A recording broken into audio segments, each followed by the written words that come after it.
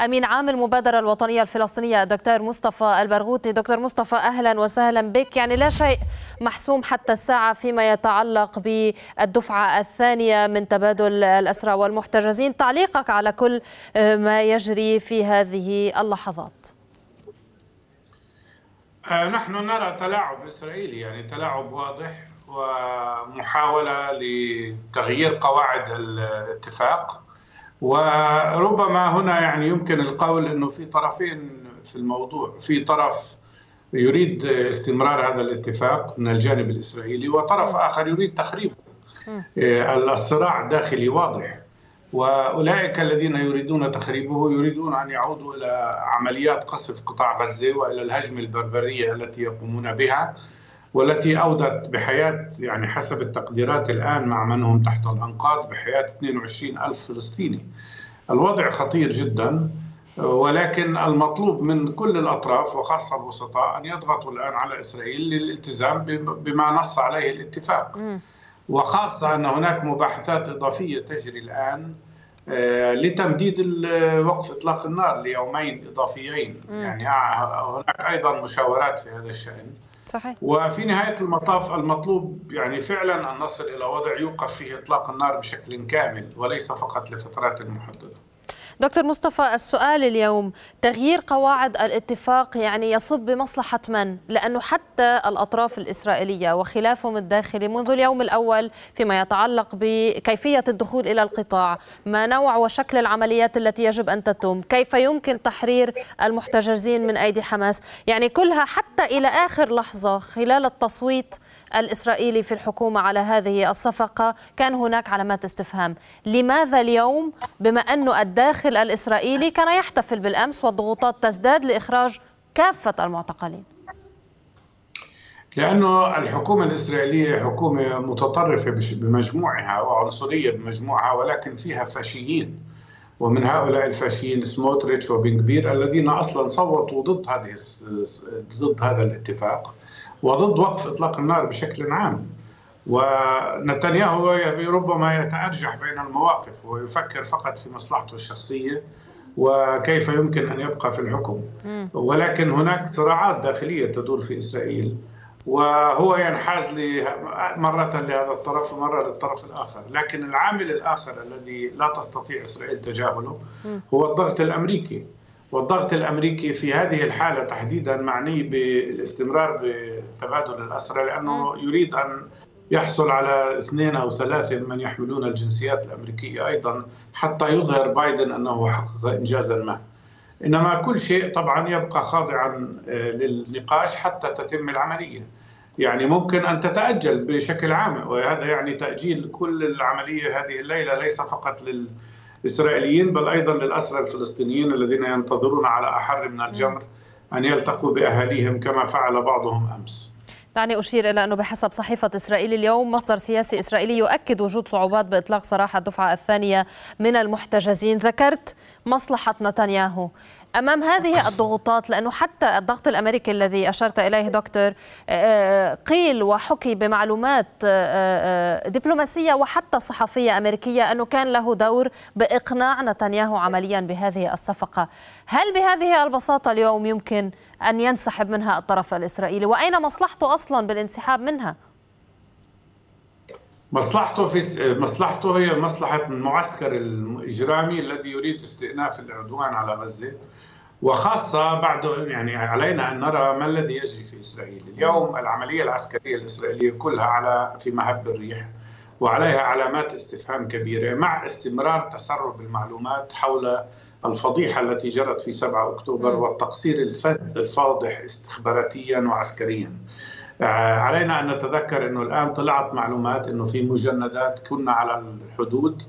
في فرقة غزة وقاموا بإعلام مراكزهم الرئيسية بأن هناك حراك يجري وعملية اقتحام لموقعهم ولم يتحرك أحد م. هذا يضع كل قيادة الجيش طبعا تحت المساءلة ويضع الحكومة الإسرائيلية كلها تحت المساءلة هؤلاء يريدوا أن يستمروا بالقصف والتدمير لأنهم يريدوا أن يهربوا من هذه المحاسبة وهذه التساؤلات التي الآن تطرح في الصحف الإسرائيلية بشكل م. عام وهؤلاء أصلا كانوا ضد وقف إطلاق النار بشكل عام بس ما يزعجهم أكثر إنه العمود الفقري للعملية العسكرية الإسرائيلية في قطاع غزة انكسر.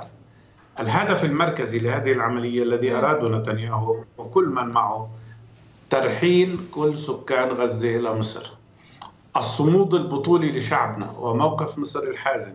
والآن هذا الصمود البطولي يتجلى في الشمال وفي الوسط. صارت خطتهم ترحيل الشمال ووسط غزة ولكن هناك آلاف الناس عشرات الآلاف أصروا على البقاء في بيوتهم.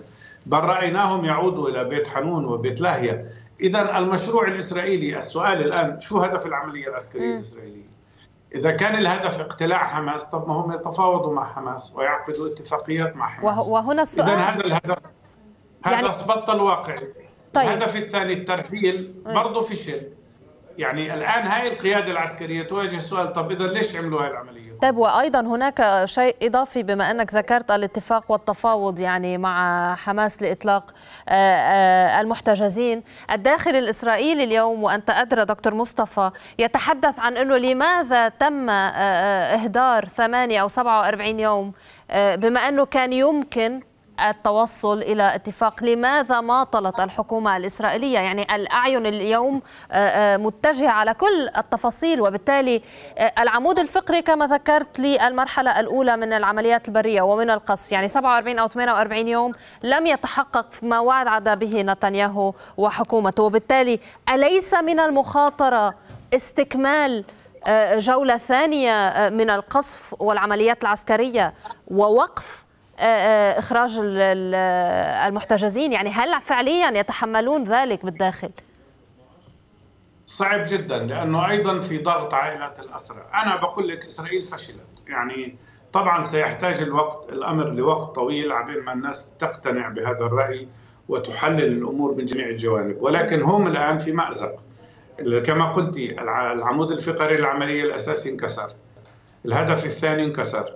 اجتثاث حماس انكسر. آه، شو بقي؟ كان بإمكانهم يعني هم طبعا الآن قاموا بعملية انتقام انتقام وحشي من مدنيين. هذا الآن يثير العالم ضدهم. الآن هناك ثورة عالمية في العالم ثورة كبرى في كل عواصم العالم حتى في الولايات المتحدة. أحد عوامل الضغط التي يمارسها بايدن سببها إنه بايدن الآن أدرك أنه دخل إلى جحر خطير.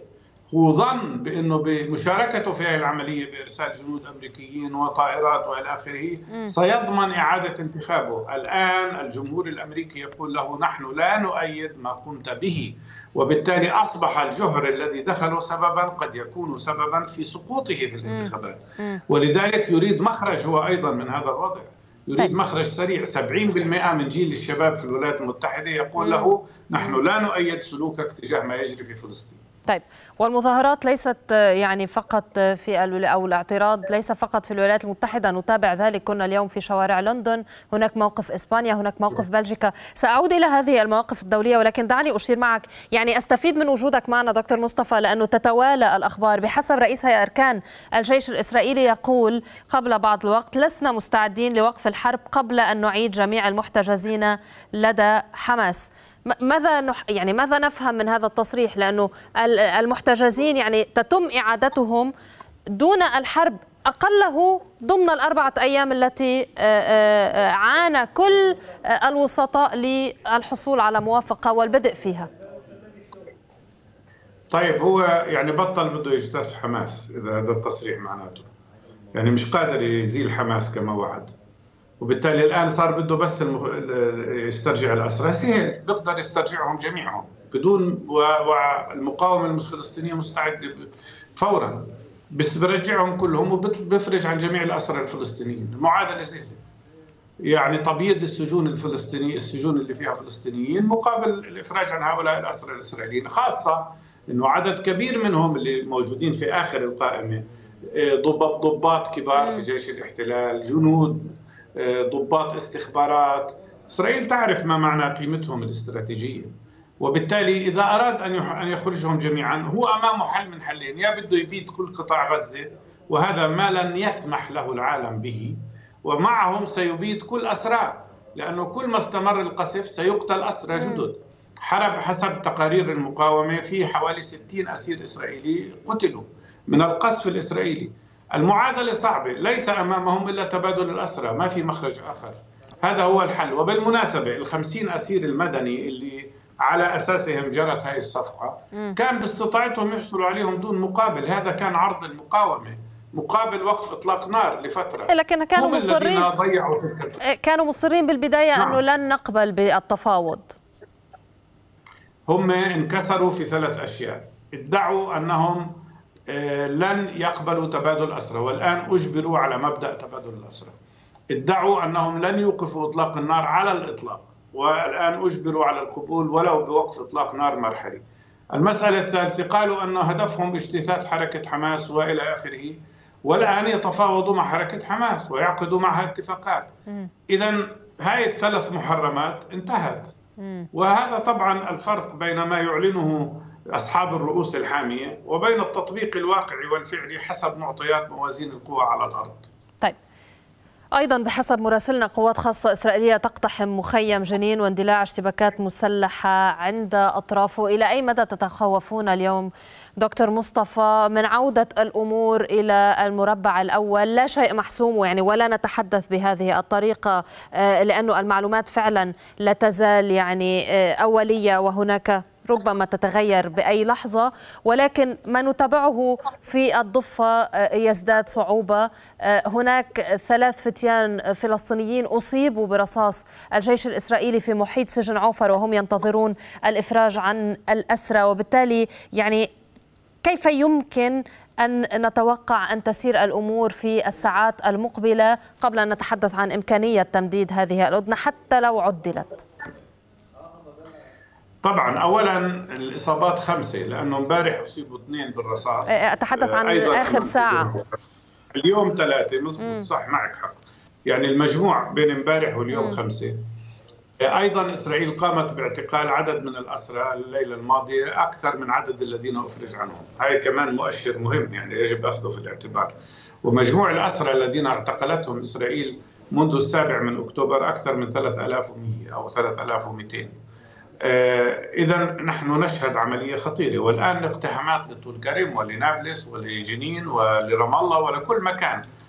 آه، ماذا يعني كل ذلك؟ هذا كله يعني يعيد تذكيرنا بالجوهر القضية الأساسي هاي المعركة لا تدور فقط من أجل الإفراج عن الأسرى.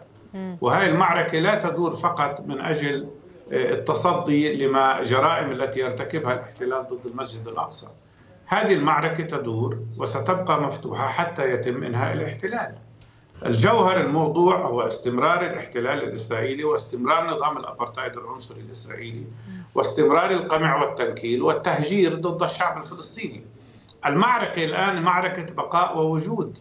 إسرائيل عندما دخلت إلى قطاع غزة حتى لو لم تجري هذه العملية كانوا يبحثوا عن فرصة أخرى.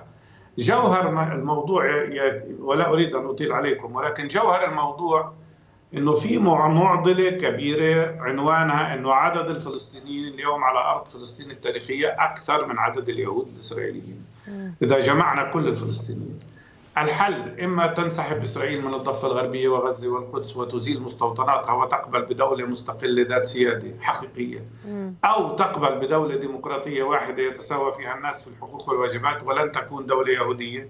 أو التطهير العرقي. هم ساروا في طريق التطهير العرقي. وهذه الفاشية التي تحكم في إسرائيل تسير في طريق التطهير العرقي ولكنها ستفشل. فشلت في غزة ستفشل في كل مكان لأنه هذا الشعب يدرك إن عليه التمسك بأرضه وبوطنه وعدم الرحيل المواقف بسؤال سريع وأخير دكتور مصطفى لو تسمح لي. آه، فيما يتعلق بحل الدولتين اليوم سمعنا من الرئيس الألماني يتحدث عن حل الدولتين. سمعنا موقف من وزير الخارجية البريطاني آه، ديفيد كاميرون يتحدث عن إنه لا سلام ولا أمن دون حل للموضوع الفلسطيني وحل عادل أيضا. يعني كل هذا آه، هذه المواقف الدولية المتبدلة نوعا ما فيما في هذا الشأن. كيف يمكن أن يبنى عليها آه، في المستقبل القريب؟ اولا علينا أن نقرأها بشكل صحيح. آه، صدور هذه التقارير وهذه القرارات وبعض طبعا في فرق بين الموقف البريطاني المنافق وبين الموقف الإسباني والبلجيكي الحقيقي. آه، حديثهم الآن عن الاعتراف بدولة فلسطين يدل على نقطة واحدة أنه عادت قضية فلسطين تتصدر المشهد بعد أن أفشلت محاولات محاولات تصفيتها عبر التطبيع مع المحيط العربي. هذا انتهى وفشل. الآن النقطة الثانية. طب الحديث عن حل الدولتين بالنسبة لي هو مجرد نفاق. ما لم يرتبط بأن يتخذ السيد المستشار الألماني ورئيس وزراء بريطانيا قرارا بفرض عقوبات على الاستيطان لإجبار إسرائيل على إزالة المستوطنات. بدون مثل إجراءات حقيقية تلجم إسرائيل في عملية التوسع الاستيطاني. الحديث عن حل الدولتين يصبح مجرد كليشيه نعم. مجرد كلام فارغ مجرد غطاء يستعملونه للتغطية على انحيازهم المطلق والكامل لإسرائيل بكل الوسائل وبكل الطرق. شكرا جزيلا لك من رام الله. أمين عام المبادرة الوطنية الفلسطينية دكتور مصطفى البرغوثي شكرا جزيلا لك.